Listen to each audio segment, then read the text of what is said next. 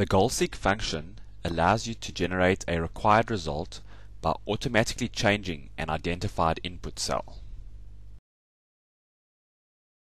In this example, we have a simple spreadsheet where we have the sales price, some units sold over various months, the cost of sale percentage, and the resultant gross profit.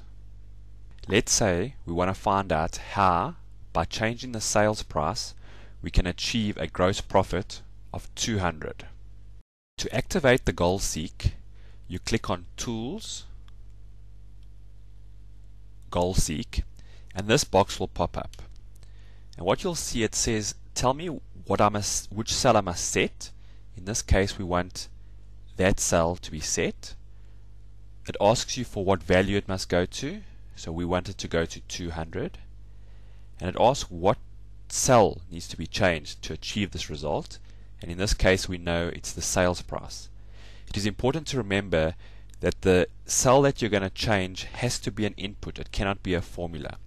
So if we click OK, you'll see it goes through and gives you a result that results in the result you want.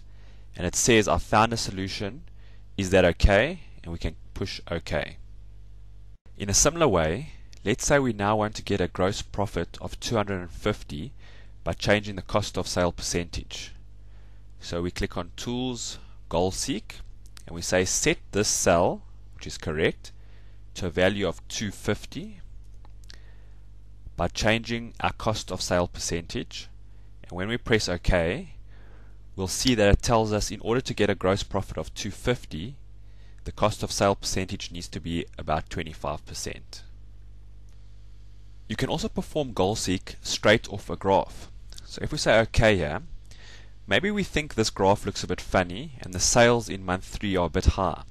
If you click on the graph on that um, bar, you'll see that it highlights all the bars. If you click on it again, you'll see it highlights only the month 3 bar.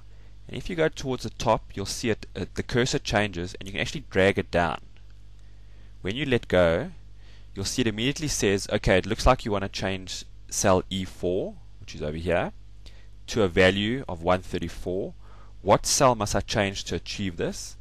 And in this case, we want to change the unit sold.